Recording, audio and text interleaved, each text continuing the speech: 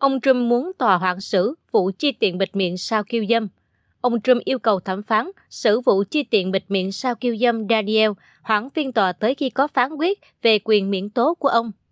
Nhóm luật sư của ông Trump hôm ngày 11 tháng 3 yêu cầu thẩm phán New York Daniel Manier Merchant hoãn phiên tòa cấp bang xử lý cáo buộc cựu tổng thống chi tiền bịt miệng sao kiêu dâm Stormy Daniel cho đến khi tòa án tối cao ra phán quyết về quyền miễn tố của ông. Tòa án tối cao Mỹ dự kiến nghe những tranh luận trong vụ kiện về quyền miễn trừ truy tố của ông Trump vào ngày 25 tháng 4 và có thể đưa ra phán quyết về vấn đề này vào tháng 6 hoặc tháng 7. Cựu Tổng thống trước đó bị truy tố 34 cáo buộc làm giả hồ sơ kinh doanh để chi tiền bịt miệng Daniel, ém thông tin bất lợi trong cuộc bầu cử Tổng thống năm 2016. Phiên tòa đầu tiên về vụ này sẽ diễn ra vào ngày 25 tháng 3 tại Tòa án bang New York ở Manhattan. Các khoản tiền này được chi trước thềm bầu cử năm 2016, nhưng nhóm luật sư của ông Trump lập luận rằng các công tố viên dự định dẫn bằng chứng được phát hiện từ năm 2018. Đây là thời điểm ông Trump làm tổng thống Mỹ, từ đó dấy lên tranh cãi về khả năng ông được hưởng quyền miễn tố. Do đó, cựu Tổng thống Trump cho rằng việc hoãn phiên tòa để chờ thêm hướng dẫn từ tòa án tối cao là hợp lý. Nhóm pháp lý của ông Trump khẳng định. Nhóm pháp lý của ông Trump nhiều lần tìm cách hoãn các phiên tòa xét xử ông tới sau cuộc bầu cử tổng thống vào tháng 11. Ông Trump có khả năng hủy mọi vụ kiện liên bang nhằm vào bản thân nếu thắng cử. Theo luật bang New York, làm giả hồ sơ kinh doanh là tội nhẹ, nhưng các công tố viên có thể tăng nặng tình tiết nếu họ tin bị cáo hành động như vậy để thực hiện hoặc che giấu tội khác. Nếu bị tiên phạm trọng tội, ông Trump có thể lĩnh 4 năm tù cho mỗi tội danh với tổng mức án tối đa là 136 năm tù.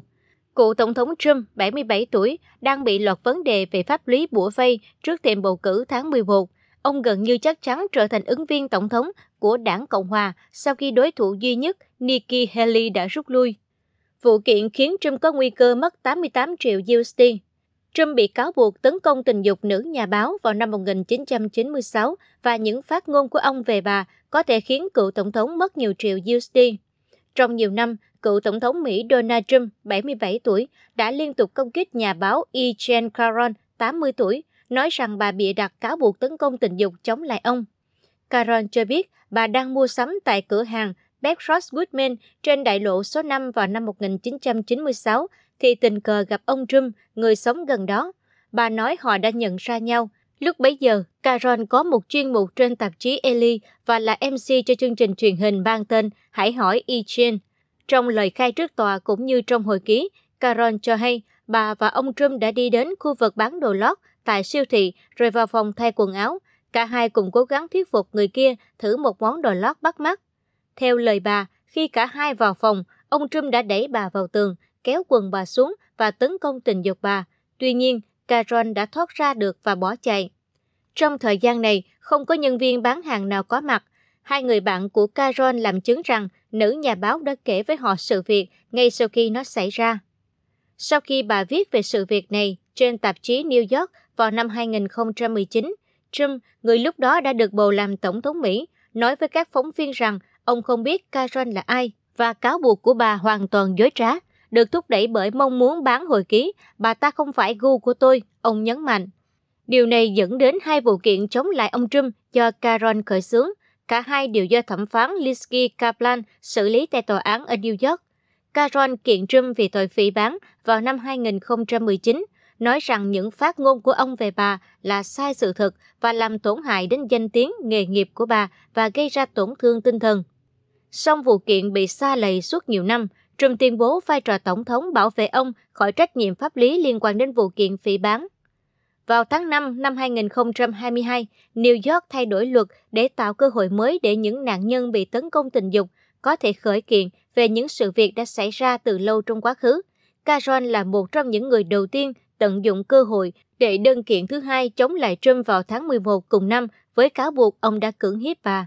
Cựu nhà báo cũng kiện cả những điều ông nói về bà sau khi rời Nhà Trắng, liệt kê một bài đăng trên mạng xã hội của ông vào tháng 10 2022, nói rằng tôi không biết người phụ nữ này là ai và bà ta đã hoàn toàn bị đặt ra câu chuyện, mặc dù có một bức ảnh được công bố cho thấy vợ chồng Trump từng gặp vợ chồng nữ nhà báo. Phán quyết trong vụ kiện về cáo buộc cưỡng hiếp, bồi thẩm đoàn hồi tháng 5 2023 kết luận rằng Caron không chứng minh được bà đã bị cưỡng hiếp. Tuy nhiên, ông Trump đã lạm dụng tình dục bà. Những bình luận công khai của ông về bà mang tính phỉ bán, do đó không được bảo vệ bởi quyền tự do ngôn luận. Cựu Tổng thống bị yêu cầu bồi thường 5 triệu USD. Trong vụ kiện còn lại, bồi thẩm đoàn ở New York ngày 26 tháng 1 kết luận ông Trump đã gây tổn hại nghiêm trọng đến danh tiếng của Caron. Họ yêu cầu ông phải trả 7,3 triệu USD bồi thường thiệt hại tinh thần, 11 triệu USD bồi thường tổn thất về danh tiếng. Họ cũng yêu cầu thêm khoản bồi thường 65 triệu USD mang tính chất trừng phạt nhằm ngăn ông tiếp tục công kích nữ nhà báo. Nếu cả hai phán quyết đều có hiệu lực, ông Trump sẽ nợ bà tổng cộng 88,3 triệu USD. Đội ngũ pháp lý của ông Trump đang kháng cáo phán quyết trong vụ kiện đầu tiên và cam kết sẽ kháng cáo vụ thứ hai. Nhóm luật sư của cựu tổng thống muốn các tòa án cấp cao hơn ra phán quyết rằng ông Trump có quyền phủ nhận những cáo buộc từ bà Caron và cựu nhà báo có động cơ thầm kín. Đơn kháng cáo sẽ được chuyển đến một hội đồng thẩm phán ở New York và có thể được gửi lên tòa án tối cao Mỹ để xem xét. Ông Trump đã gửi hơn 5,5 triệu USD vào tài khoản ký quỹ, tài khoản do tòa kiểm soát trong vụ kiện đầu tiên. Đây là thủ tục để nỗ lực kháng cáo diễn ra. Nếu cựu tổng thống tiếp tục công khai nói rằng Caron đã bịa đặt ra câu chuyện, bà có thể đâm đơn kiện với mỗi phát ngôn mới từ ông. Số tiền phạt 88,3 triệu USD thực tế ít hơn số tiền mà một số đồng minh của Trump đã phải đối mặt trong các vụ kiện phỉ bán gần đây. Một buổi thẩm đoàn năm ngoái đã ra phán quyết rằng cựu thị trưởng New York Rudy Giuliani phải bồi thường hai cựu nhân viên bầu cử Georgia 148 triệu USD vì truyền bá thuyết âm mưu về họ. Bồi thẩm đoàn ở Texas và Connecticut đã đưa ra phán quyết về tội danh phỉ bán đối với Alex Jones, chủ trang tin Infoworld yêu cầu ông bồi thường 1,5 tỷ USD vì đưa ra tuyên bố sai sự thật rằng vụ xả súng ở trường tiểu học Sandy Hook là một trò lừa bịp. Không giống như Giuliani hay John, Trump có thể nắm đủ nguồn tài chính để chi trả. Theo báo cáo thường niên gần nhất cho năm tài khóa kết thúc vào ngày 30 tháng 6, 2021, cựu tổng thống có khoảng 294 triệu USD tiền mặt hoặc các khoản tương đương tiền, chưa kể khối bất động sản mà ông tuyên bố trị giá hàng tỷ USD. Tuy nhiên, ông Trump vẫn phải đối mặt với các khoản nợ tài chính tiềm ẩn khác.